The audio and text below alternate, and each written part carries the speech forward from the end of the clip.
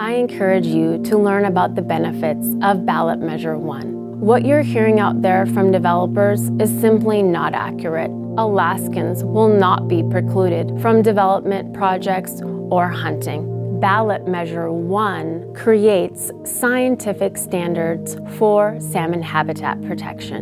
Join us by submitting your yes vote between October 22nd and November 6th. Vote yes on one. Paid for by Tanana Chiefs Conference.